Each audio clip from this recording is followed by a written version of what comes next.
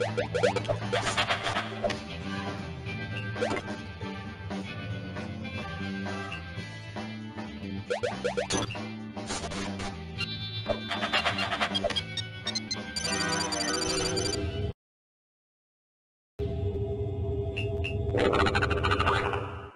that looked like it was fun.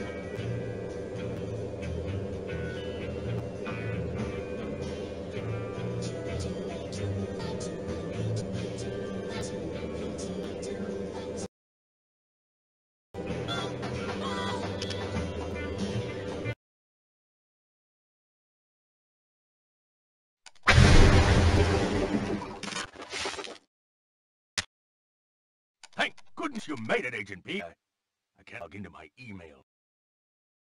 Do you remember my password? I told you, sir. It's your wife's middle name. But I must have entered Rita a million times. It, it doesn't work. That's because her middle name is Sarah. Yep, that works. Sorry about the inconvenience, Agent P. Wait, Carl, how do you know my wife's middle name?